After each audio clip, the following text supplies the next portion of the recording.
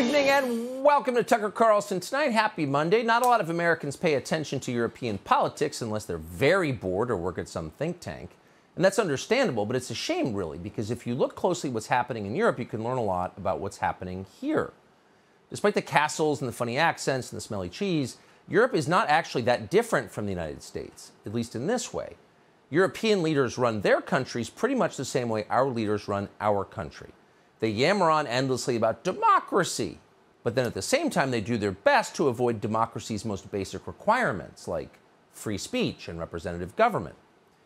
A few years ago, the Prime Minister of Italy at the time, Paolo Gentiloni, bragged to the World Economic Forum about his plans to, quote, bring more social justice to the country, by which he meant importing many more thousands of poorly educated economic migrants from the third world into Italy. We are very open on migration, he said. We are saving lives at sea. Oh, saving lives, huh? Congratulations, you're such a good person. But the question is, and it's a relevant question in a democracy, what do the people who live in Italy, that would be your constituents, think of that idea? Well, as the prime minister explained, he didn't care. Quote, a demand for more democracy not only is wrong, it's even dangerous. You following this? You run a country in the name of the people. You're not a king, you're a democratically elected leader. You run it in the name of the people who live there, but at the same time, it's, quote, dangerous to allow the opinions of those people to influence your decisions. Does that sound familiar? Oh, it does, because it's exactly the kind of democracy that we live in, which is to say, a fake one. In fact, there is no majority in any country on planet Earth that thinks open borders are a good idea, or that considers global warming the single biggest problem, or that thinks it's wise to quarantine the entire population because of a flu virus. No large group of people anywhere wants these things. But in the West, everybody gets them anyway because politicians don't care what you think. Your opinion is dangerous. Shut up, racist! So it goes without saying this can't last. A system like this cannot endure forever because it's inherently unstable. You can't tell people they're in charge of their own government. It's a democracy, we promise, and then ignore over decades their most strongly held opinions on things that matter. That doesn't work long term. They will rebel, guaranteed. And the best you can hope for is that they will do it peacefully. In Italy, they seem to be doing just that. This summer, a conservative populist called Giorgia Meloni started showing up with strong support in the polls. Meloni was no radical. Her views would have seemed perfectly ordinary just a decade ago. But because she resolutely refused to bow to the twin gods of climate and mass migration, people panicked. The president of the European Commission, in fact, on camera, commanded Italians not to vote for her. Watch. So we'll see if things uh, go in a difficult direction. I've spoken about Hungary and Poland. We have tools. If things go in the right direction, and people as a body that is always um, where always governments have to be accountable to, play an important role. Oh, if things go in the wrong directions, in other words, if voters disobey, quote, we have tools. Oh, you do, do you? Well, that sounds like a threat because, of course, it is a threat. But it turns out Italians are so desperate, they no longer care. They're not afraid. And they're not afraid because neoliberalism, which that lady is just espousing, has destroyed their country. Energy prices in some places in Italy are now up more than 400% over last year. Why? Well, a pointless war in Ukraine and self destructive climate policy. It's not an accident, and everyone knows it. Meanwhile, parts of Italy are becoming flat out dangerous. That hasn't happened before outside of Sicily, but it's happening now. Why? Everyone knows why. And government statistics show why. It's migrants who are driving much of the crime, a huge amount of the crime. So these aren't mysteries, but you're not allowed to acknowledge them in public. Period. In some places, it's illegal. But Meloni is one of the very few politicians who doesn't care and has been willing to say the obvious, the truth, out loud.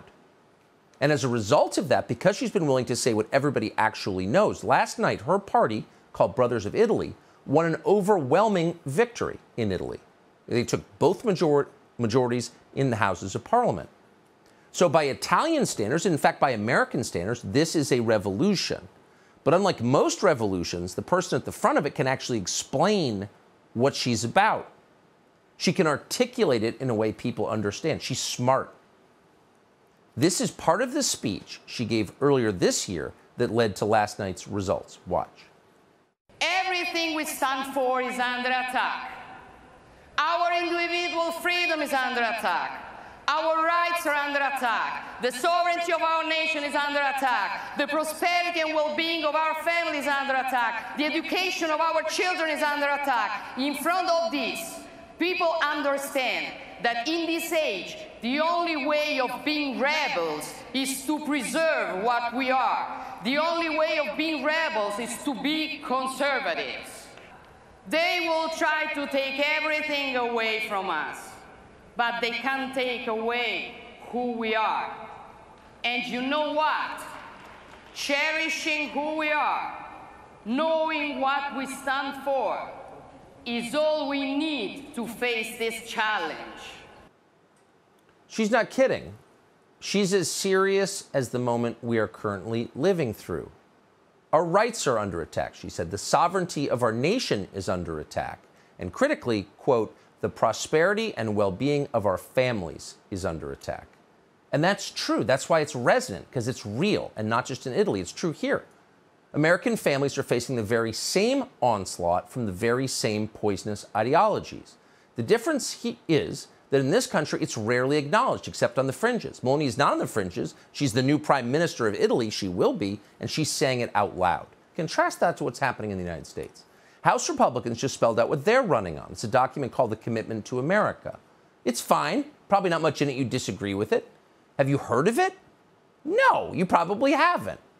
You probably haven't read it. Nobody really cares. Why? Because there's nothing real in it. There's not a single word in that document about the attacks on the American family that you see every day. That's at the center of most people's concerns. How are my kids? Will they have a life that resembles mine? That was called the American dream. Does it still exist? Will they be able to afford to live the way they grew up? Will they have the opportunities that we had? No. People are upset about that. Why wouldn't they be? But nobody says it. And that's odd because we know, and now it's been proven, that when politicians are brave enough to tell the truth about what's actually happening, they tend to be rewarded for it. Once again, here's the incoming Prime Minister of Italy. And as you watch this, ask yourself if you would vote for a candidate like this if you had the chance in our country. A monte c'è quella che ci facciamo oggi, perché la famiglia è un nemico? Perché la famiglia fa così paura? C'è una risposta unica per tutte queste domande, perché ci definisce, perché è la nostra identità, perché tutto quello che ci definisce in questo tempo è un nemico, per chi vorrebbe che non avessimo più un'identità e che, fossero, che fossimo solamente schiavi, consumatori perfetti. Chesterton, ormai più di un secolo fa, vediamo se, lo, se ve lo trovo, fuochi verranno attizzati per dimostrare che 2 più 2 fa 4, spade verranno sguainate per dimostrare che le foglie sono verdi in estate. Quel tempo è arrivato, signori. Siamo pronti. Grazie. So that's the person who's being described all over American television, including on channels that should know better, as, quote, far right. That's far right, really? Because she acknowledges that American families are under attack? Of course they are. You think it's accidental? No. And she explains why. And it's simple. If you want to establish totalitarian control over a country, of course you have to destroy the family first because nobody with deep family loyalty, the one thing every person should have, no one who has that will ever pledge absolute obedience to a politician. Why would you? So if you want absolute obedience, you have to sever family ties. And that's why state schools brainwash your children with values that you despise and then instruct your children to turn you in as a thought criminal if you object. That's happening. It's not your imagination, and it's happening for a reason. Wokeness is not just a political ideology, it's not just something annoying that emerged on college campuses that we can ignore. It's a state religion that supplants actual religion, which is also being destroyed. There's a reason the strip bars and the liquor stores and the weed dispensaries stayed open under COVID, but the churches didn't. If you can't draw the connection between those dots, you're missing it. But Meloni didn't miss it. She understands it perfectly. Watch. Only a few months ago, European Union bureaucrats wrote a document hundreds of pages long telling us that in order to be inclusive, we had to exclude all references to Christmas. Jesus, Mary, and all Christian names were to be removed from all official communication. Will we surrender in front of this? No, we will not. We will fight it. We will fight it standing tall. So they hate your family, they hate your religion, and you don't actually have to put up with it because it's a democracy and you're supposed to be in charge, you being the population. That's a radical message. God, family, country. That's not radical. It's hard to imagine a more wholesome message, a more pro human platform. Fascists don't believe in God because God is a rival to their power. Of course. This is a per- person publicly professing faith in God. That's so scary, but it is so scary. It's so scary to the people running and benefiting from our current system. And why is that? She's not the first person to say this. People have said it before, but she's just been rewarded for saying it. That's the point. The population likes it. This is what they actually want. They're not that worried about global warming. They don't want open borders. They think the woke stuff is absurd. They want to say what they think. And now it's obvious because she just won. And so, even in this country, the people running and benefiting from a deeply corrupt and doomed system are hysterical. Watch the reaction to that. I want to start today by talking about a politician on the right who we should all be worried about, who's on the rise today. A politician who has brushed off accusations of fascism. What separates us from, let's say, Italy, who elected a, a fascist. She is from fascist roots. A far right political party whose roots go back to post World War II neo fascist. A party that has its roots in Italian fascism. Its roots in Italian fascism. Define that for us, if you would, Joe Scarborough. Oh, sorry. You're an idiot. You can't. But the point is, fascist means unacceptable. Whatever this chick is saying, you're not allowed to agree with. They're very worried that that many Italians do agree with it. So she has to be completely unacceptable. Don't read further. She's a fascist. And in case you missed the theme, a recent New York Times piece on Meloni mentioned fascism or fascist 29 times. Not a subtle newspaper. Apparently, she's on the verge of invading Poland. We should be worried. Watch this. They said it could never happen again. 100 years ago, Mussolini marching on Rome, plunging the country into two decades of dictatorship, an alliance with Hitler, and a Second World War. Today, the fascist party is gone, but many say these are their political heirs, the Brothers of Italy. Once on the fringes, they've ballooned into the biggest party in the country. Now, their leader, Giorgia Meloni, is poised to head the most hard right government since Il Duce. The 45 year old firebrand insists she's no fascist, just a proud conservative and nationalist, comfortable, nevertheless, with some of the hallmarks of Italian fascism, like this motto God, fatherland, and family. God, family, country. Well, that's pretty scary.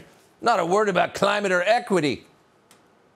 But again, it's their hysteria and their total unwillingness to ask obvious questions that lets you in on the secret, which is they're panicked because they know the current system is doomed. And in fact, what happened last night in Italy is the best case scenario for them because it was a peaceful transfer of power. That's a good thing. That's what you want. In a democracy, people should be allowed to have some influence on the priorities of the government that claims to represent them. And when they speak in an election, the people who've been repudiated have a moral obligation to pause just for one second and ask, why didn't they like what I was offering them? They have a right to an opinion. In fact, their opinion is at the center of our system, this democracy. But they never ask themselves that. They never take any blame whatsoever. They didn't in 2016 when Trump got elected. They immediately blamed Putin or Macedonian bot farms. They never blame themselves. And so they never learned a single thing from what happened. That's exactly what's happening, not simply in American television, but also in Italy and also in the European Union. The bureaucrats who drove Italians to seek a change peacefully at the ballot box are completely unwilling to learn from that vote. They'll just keep ramming their unpopular garbage down the throats of a deeply ungrateful nation until there's an actual rebellion. Let's hope that doesn't happen. Subscribe to the Fox News YouTube channel to catch our nightly opens, stories that are changing the world and changing your life. From Tucker Carlson tonight.